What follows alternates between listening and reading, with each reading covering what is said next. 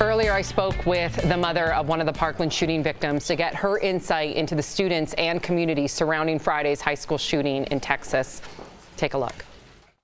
Here with us now for insight into the latest school shooting in Texas is Stoneman Douglas victim Alyssa Alhadeff's mother, Lori.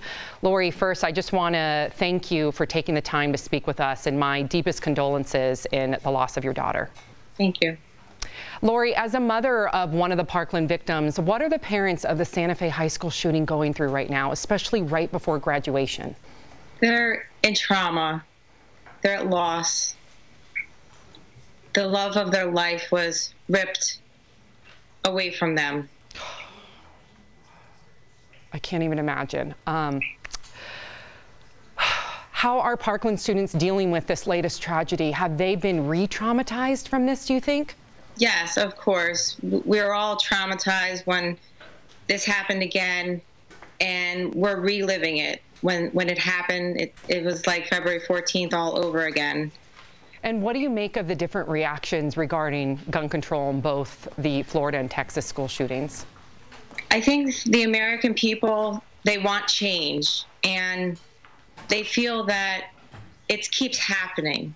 When 9/11 happened, we made changes in our airports and it's and it's stopped but this is keeps happening with our schools and things are not stopping and so we need change. You recently announced you are running for Broward County School Board. Why did you decide to run and what is your platform?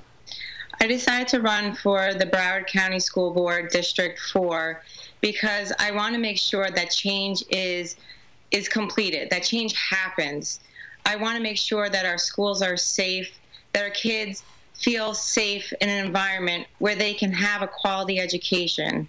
I want to make Broward County schools a model for the rest of the country. And I want to hold people accountable and to make sure that the jobs are done correctly.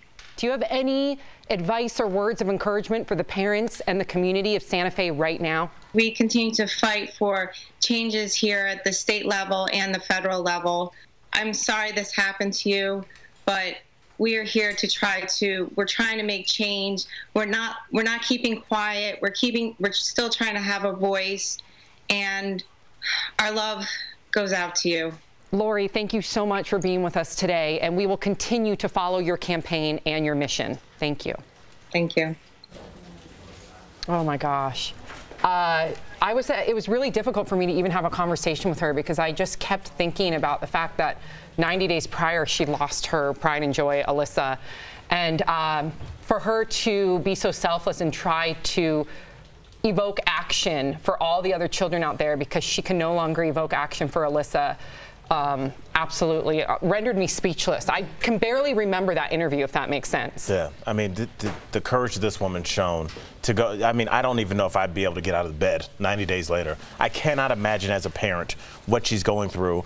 And, uh, you know, for her to be not only trying to get action, but she's trying to run for the school board, I think we need people that have been directly touched by this mm -hmm. rather than people that, whose pocketbooks are, are, being directly affected by this, which and is who we have in office now. Lori has absolutely been on top of things since day one. I spoke to her less than a week after this massacre happened, and then uh, shortly, a couple weeks later, and she has been right in the middle of the storm saying that I demand change and I am going to be the catalyst for change. So, I mean, she is just an extremely strong woman. She absolutely is.